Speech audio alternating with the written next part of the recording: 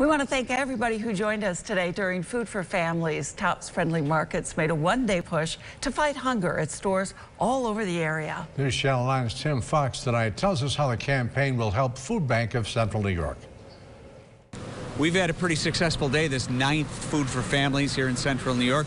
Joining me now at uh, Tops Airport Plaza store is Andy Bricado of Tops Friendly Markets you tweak things every year to be a little more successful. This one really worked pretty well. This was a very successful day, and we thank all of you know, your viewers from the Syracuse area and beyond that you know came in today. They saw what was going on with the coverage from News Channel 9, and they delivered. They really helped out a lot, and we appreciate that.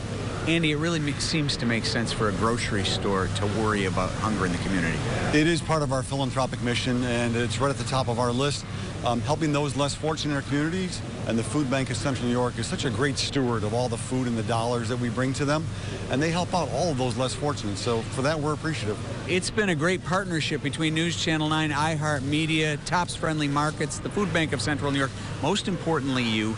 You can keep going. The campaign is going to be open through uh, December the 28th. So uh, if you would, consider stopping by your local Tops Friendly Markets or going online at Tops Neighbor Helping Neighbor, NeighborsHelpingNeighbors.com. Uh, make a donation and help hungry people around central New York. That's going to do it from North Syracuse. I'm Tim Fox, News Channel 9.